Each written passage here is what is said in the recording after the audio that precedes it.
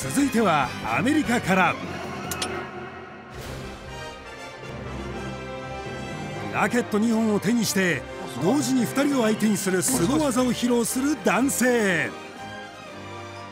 さらにボールを2つに増やしてもラケットを自在に操り見事に打ち返している。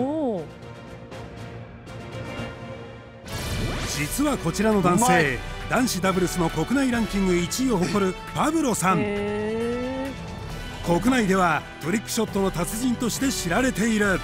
すごい